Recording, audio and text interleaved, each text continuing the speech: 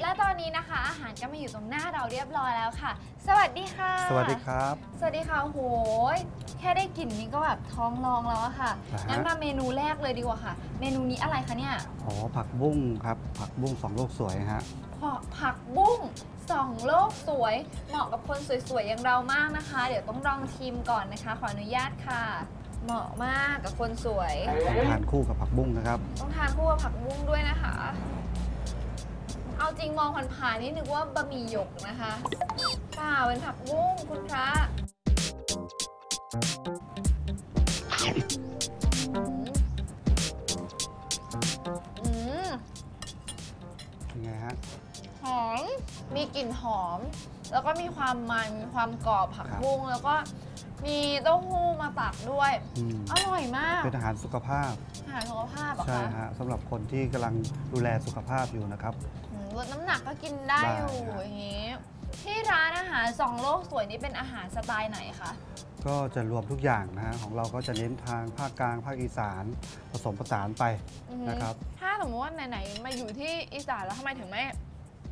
ทำอาหารเป็นสไตล์แบบอีสานจ๋าๆไปเลยอะคะ ก็ ก็มีบ้างนะครับ แต่ว่าเราเราก็อยากเพราะส่วนมากเราก็จะรับนักท่องเที่ยวทุกภาคอะฮะก็เลยประยุกต์ประยุกต์ให้มันมันเข้ากับสากลหน่อย มีฝรั่งด้วยมีคนไทยมีอะไรก็เลยให้มันกลางๆไว้ แต่อีสานจริงๆก็มีอ๋อครับผมก็เหมือนทำนองแบบว่า มีอาหารหลายประเภทให้เลือกครับผมไม่ได้อีสานจ๋าไปเลย แต่ก็มีอีสานอยู่ด้วยครับผสมผใช่ไหมสานกันค่ะอันนั้นปูนิ่มผัดผงกะหรี่นะครับ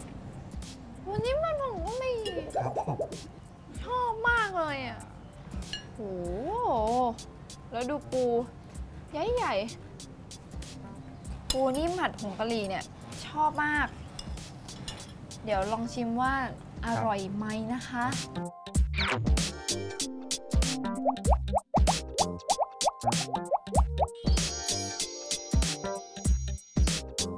อืมมีความหอม มีความกรอบอืมมีความนุ่มค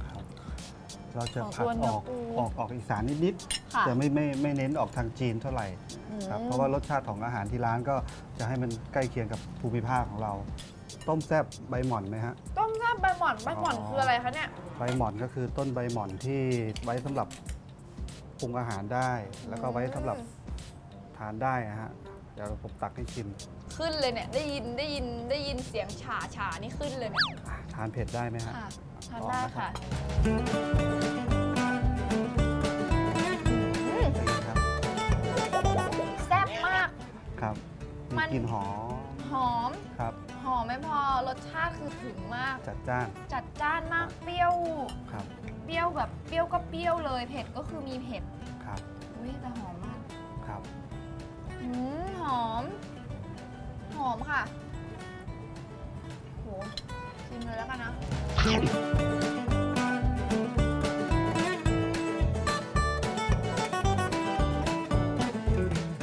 อาหารอันนี้คือแบบแซ่บมากจริงๆอะค่ะ งั้นถามต่อเลยค่ะ ครับผม อยากอันนี้คืออยากรู้แบบส่วนตัวมาก ครับ ว่าทำไมถึงตั้งชื่อร้านว่าส่องโลกสวยคะอ๋อเรื่องชื่อเหรอฮะ ค่ะ พอดีก่อนที่จะทำร้านอาหารก็เราตั้งใจจะทำที่ถ่ายรูป ถ่ายรูป outdoor pre wedding อะไรเงี้ยฮะ เริ่มต้นก็เลยชื่อธุรกิจตัวนั้นก็ชื่อ ส่องโลกสวย studio and graphic อยู่แล้วทีนี้กิจการตัวนั้นมันก็โอเคมันก็ไปได้ดีที่จะพอทำร้านอาหารแล้วก็ ก็เลยตั้งชื่อเป็น 2 โลกสวย Ding and Dinner อย่างเงี้ยฮะครับก็เป็นเหมือนชื่อเดียวกันแต่คนละนามสกุลครับหลักๆ แรก ๆ ก็ตั้งใจจะทำเป็นเป็นที่ไว้สำหรับไว้ถ่ายรูปงานแต่งงานงานอืมอะไรต่างๆ แต่ก็เลยทำร้านอาหารควบคู่กันมา ก็ทำมาได้สัก 12-13 ปีแล้วครับ อืมก็ไปได้นะฮะเมนูต่อไปค่ะเมนูเมนูนี้เลยค่ะปลากระพงทอดยำมะม่วงนะครับปลากระพงปลากระพงทอดยำมะม่วงฮะ หูยแค่ได้ยินชื่อหืมได้ไหมต้องฮะซัดต้องซัด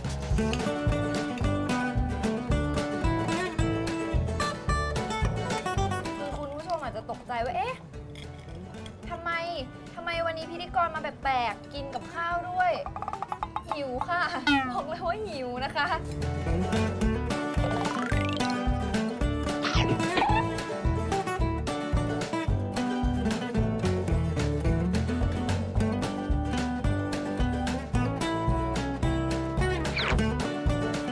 ปลมากค่ะรสชาติกลมกล่อม แล้วมะม่วงก็แบบว่า กำลังเปรี้ยวได้ที่เลย ที่ราดมันเนี่ยก็จะเป็นเป็นแบบว่ารสชาติเหมือนหวานหวานๆหน่อยเปรี้ยวครับผม ๆตัดด้วยเนื้อรสชาติเนื้อปลาอืมครับ ดีมากเลยค่ะอืมอร่อยอะเมนูสุดท้ายเลยดีกว่าค่ะ เมนูนี้ก็เป็นเมนูที่นิยมอีกเมนูหนึ่งนะฮะส้มตำทอดครับผม อืมครับชอบครับ เดี๋ยวผมจะตักให้นะฮะ พี่เขาเริ่มตักให้แล้วบอกว่ากินเยอะไปเดี๋ยวอ้วน กินคู่กินคู่กับ โอ้โห น้ำส้มตำนะครับ คุณผู้ชมคะอยากให้ดูข้างล่างว่าแบบ เครื่องแน่นมาก อันนี้จะทานเล่นก็ได้นะครับ เป็นกับแก้มหรือเป็นของคล้ายๆยำมาฮะอืมเป็นเส้นส้มตำทอดสดๆฮะของเราจะทอดสดทุกจานอืมครับ